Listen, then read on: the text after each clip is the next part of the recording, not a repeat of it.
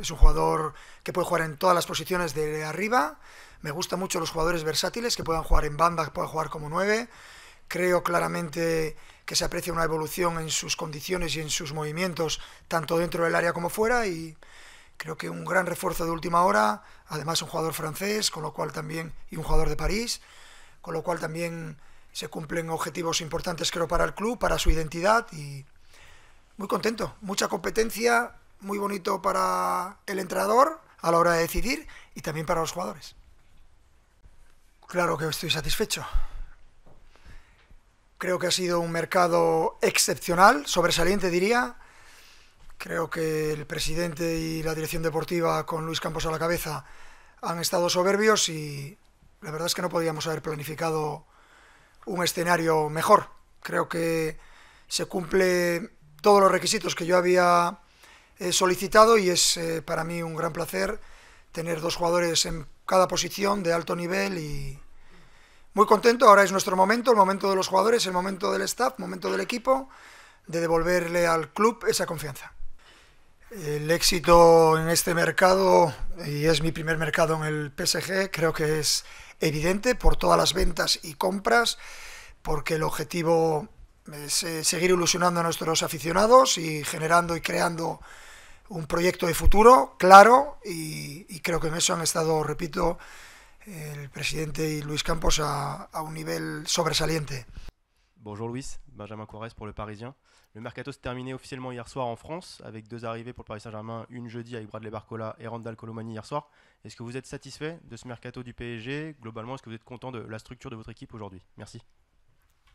Buenos días, coach. Eh, el, mer el, mercado de fichajes se ha terminado ayer oficialmente en Francia, con dos fichajes de último minuto, el de Bradley Barcola y el de Randall Colomani. ¿Está satisfecho ya con la estructura de su equipo? Eh, bonjour. Claro que estoy satisfecho.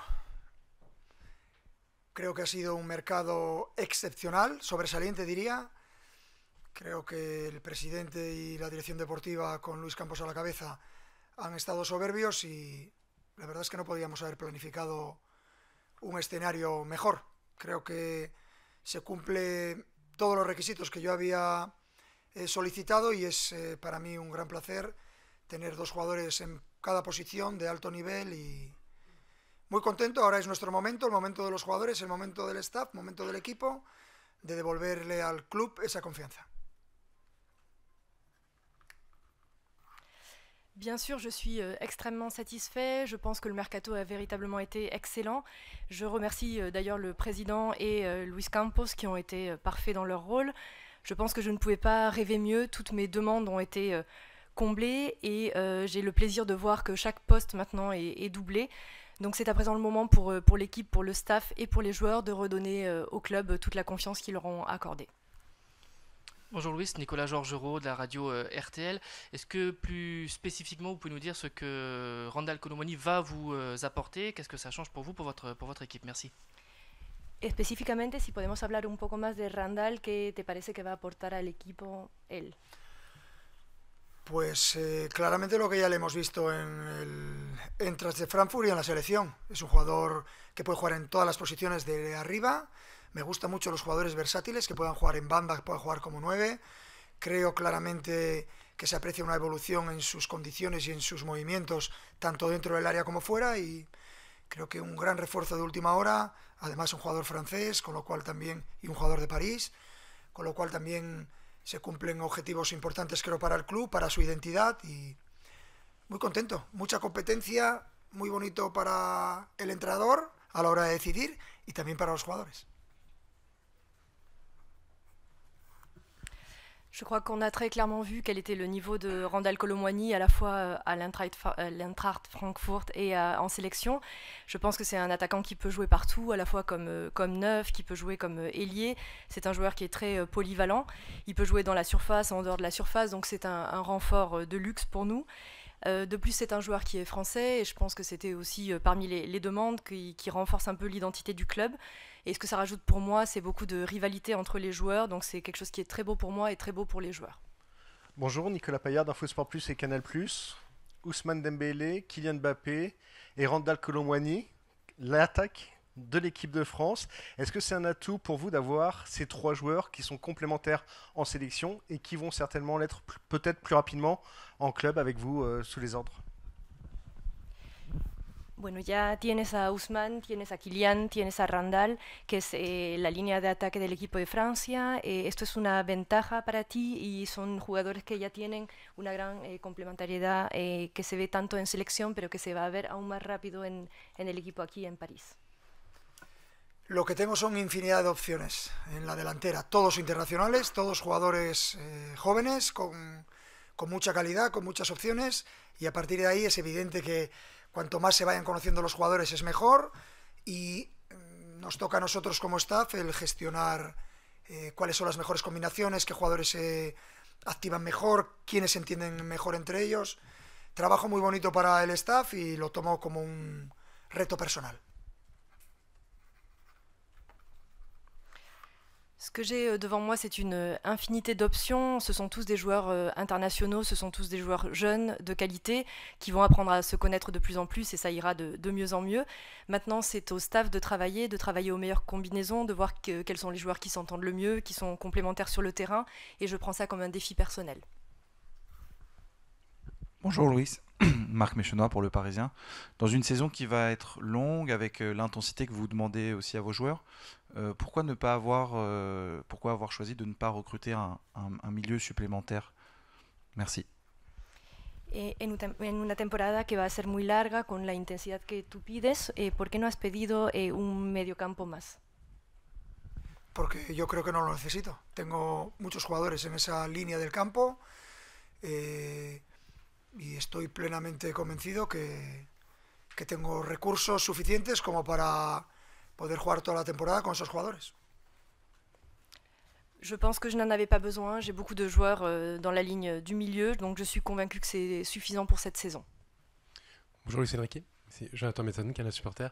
Euh, Bradley Barcola est arrivé ces derniers jours. Comment est-ce que vous imaginez euh, l'utiliser et est-ce qu'il sera dans le groupe demain pour le match contre l'OL ha llegado Bradley Barcola eh, ayer. ¿Cómo piensas usarlo y si va a estar en el grupo el domingo para jugar contra el Lyon?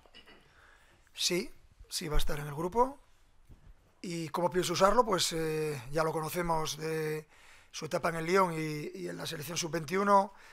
Un jugador eh, para nosotros muy importante, no solo por su calidad y juventud, sino por el tipo de jugador y el perfil que tiene. Jugador eh, capaz de de regatear en banda, pero también de ir al espacio sin balón. Puede jugar de nueve también por dentro. Eh, me gusta mucho, nos gusta mucho al club y, y a mí creo que es un, un, muy buen refuerzo, refuerzo de futuro, también francés, y jugador con, con ganas de conseguir cosas. Eh, creo que es una, un gran fichaje. Donc oui, il sera dans le groupe euh, demain. Comment est-ce que je vais l'utiliser? C'est un joueur que vous connaissez déjà parce que vous l'avez vu à la fois à l'OL et, chez les U20. Donc c'est un joueur qui est très important non seulement pour sa jeunesse et pour ses qualités de jeu, c'est un joueur qui est capable de dribbler dans les couloirs, qui est très bon sans ballon, qui peut jouer euh, euh, comme numéro 9. Donc c'est un, joueur qui nous plaît beaucoup, c'est un joueur qui est un bon renfort, un joueur d'avenir et un joueur français et qui a beaucoup d'envie. Bonjour, Arnaud euh, Herman, l'équipe. J'avais une question, vous avez parlé de rivalité, que c'était à vous de gérer la rivalité qu'il va y avoir entre vos joueurs offensivement. Euh, on peut penser à un garçon comme euh, Gonzalo Ramos, qui était arrivé a priori plutôt pour jouer titulaire et qui avec la signature de Randall Colomani risque peut-être d'être davantage sur le banc. Comment vous comptez appréhender ça pour lui? Merci. Eh, acabas de hablar de rivalidad y de que, usted de que tú tenías que gestionar esta rivalidad y pienso eh, precisamente en un jugador como Gonzalo Ramos que llegó hace poco, que pensaba llegar de titular y que ahora que ha llegado eh, Randall Colomani quizás más bien haga de suplente, entonces ¿cómo vas a hacer para gestionar esta ¿Ah, sí? rivalidad? ¿Va a hacer de suplente ya? Todavía no me conocéis. no, no, yo quiero 20 titulares, no 11 titulares o 12 o 13 necesitamos 20 titulares, 22. Si tenemos 22 titulares, estamos preparados para cualquier competición. Ese es el objetivo, ya me iréis conociendo. Ya iréis viendo que aquí titulares y suplentes, pocos. Remplaçant, vraiment, vous pensez? Euh, Visiblement, vous ne me connaissez pas encore. Je suis quelqu'un qui veut vraiment 20 titulaires, pas 12, pas 13. J'en veux même 22. Je veux une équipe qui soit prête pour jouer toutes les compétitions. Et vous apprendrez à me connaître et vous verrez que pour moi, le, statut de titulaire et de remplaçant, ça n'existe pas.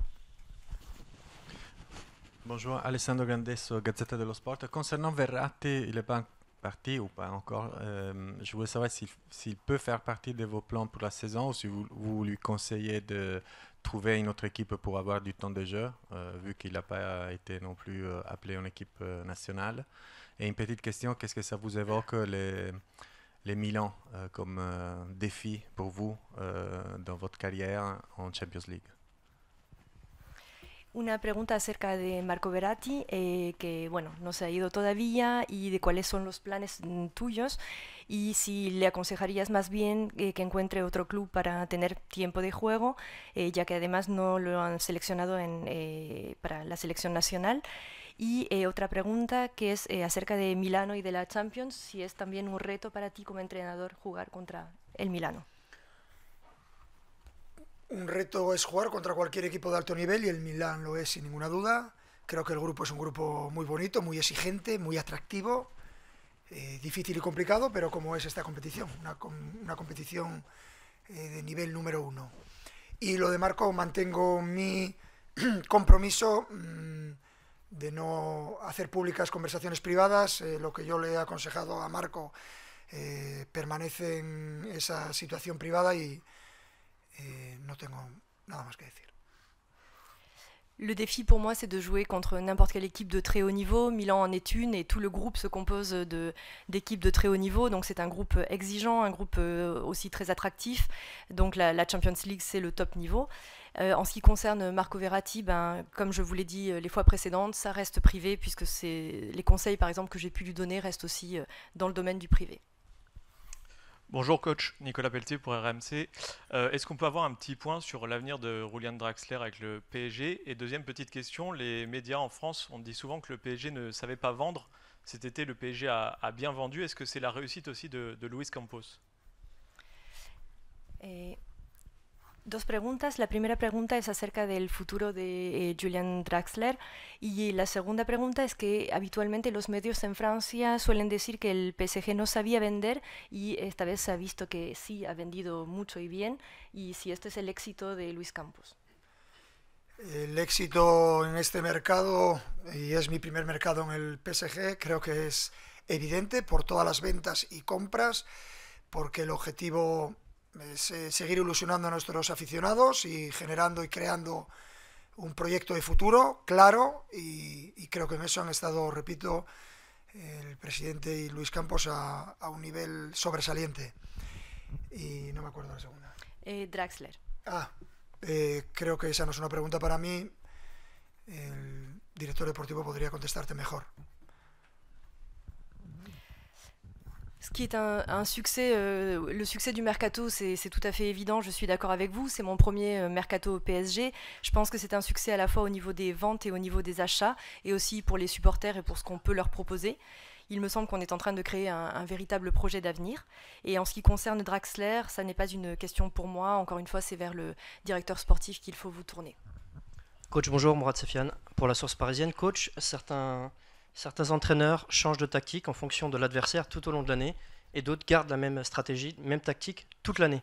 De quelle catégorie vous faites partie? Merci. Algunos entrenadores cambian la táctica y la estrategia en función del rival, otros no cambian nunca, cualquier que sea el rival. ¿Y usted en qué grupo entra? Yo preparo los partidos en función de nosotros, siempre. Nosotros vamos a intentar tener el balón más que el rival.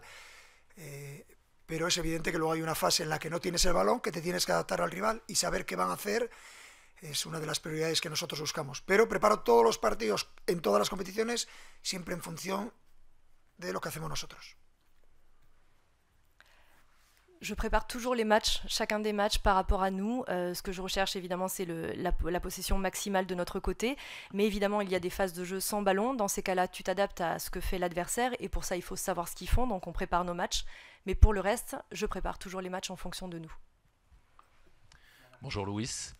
Vous affrontez l'Olympique lyonnais demain, une équipe qui est en grande difficulté en ce début de saison. C'est pourtant une équipe qui a l'habitude pourtant de se mêler aux, premières places du championnat. Comment euh, vous vous êtes préparé à ce match et à quel type de rencontre vous vous attendez demain soir Merci. Mañana juegan contra el Olympique Lyonnais, que es un equipo que está eh, pasando ahora por una, una, gran fase difícil y sin embargo es un equipo que siempre ha jugado eh, los puestos altos de la tabla de clasificación. Entonces la pregunta es doble, es cómo ha preparado el partido y a qué tipo de, de partido se prepara mañana, se espera mañana. Lo he preparado como todos los partidos eh, hasta ahora en el PSG, con la mayor seriedad y la mayor profesionalidad, intentando ayudar a mis jugadores y al equipo a, acertar con, con, la idea del partido. El Olympique de, Lyon es un equipo grande, histórico, eh, uno de los mejores equipos de la liga, sin ninguna duda, y que tiene muy buenos jugadores, muy buen entrenador, que por cierto conozco y que compartí vestuario en el Barça como jugador, Logan Blanc. Y bueno, va a ser un partido difícil, con un ambiente seguro en un estadio precioso, un ambiente eh, de los que nos gustan a todos jugar y vivir y seguro que va, va, a tener dificultades. Lo hemos preparado de la mejor manera eh, para intentar ganar los tres puntos. Merci beaucoup. Donc c'est un match que j'ai préparé comme, comme tous les matchs avec le plus grand sérieux, le plus grand professionnalisme. Mon rôle c'est d'aider l'équipe euh, à s'en sortir euh, le mieux possible. Donc l'OL est un grand club, c'est un club historique euh, qui fait partie pour moi des meilleurs clubs de Ligue 1, qui a de très bons joueurs et un très bon entraîneur. Je connais bien Laurent Blanc, d'autant que j'ai partagé euh, le vestiaire avec lui au Barça. On va jouer demain dans un très beau stade, dans une très, bien, une très belle ambiance et c'est quelque chose qu'on aime beaucoup. Donc c'est un match difficile euh, auquel je me prépare, mais nous sommes bien préparés et prêts à gagner les trois points. Merci.